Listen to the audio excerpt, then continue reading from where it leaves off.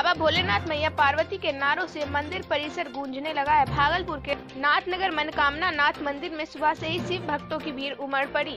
है, शिव भक्तों ने मन, मनकामना नाथ मंदिर में पूजा पाठ करते हुए शिवलिंग में पूजा अर्चना के लिए लंबी कतार लग गई है। शिव भक्तों ने बाबा भोलेनाथ मैया पार्वती के नारों से मंदिर परिसर गूंज उठा है। मीडिया को बताते हुए साक्षी ने बताया।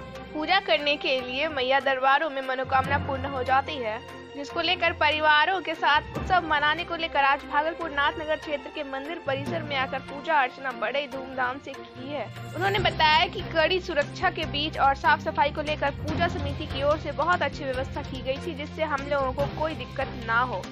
पिछले दिनों क्या हुआ था? भागलपुर के senior SP Nitasha Gudiya, SP पूरन कुमार झा सभी पुलिस अधिकारियों ने पूजा समिति के साथ शांतिपूर्ण तरीके से पूजा हो इसको लेकर बैठक की थी। बैठक में उन्होंने अहम पूजा समिति के साथ जानकारी साझा की थी और आपत्तिजनक चीज़ों के नजरे में पुलिस कर्मी को रखने का निर्देश दिया था।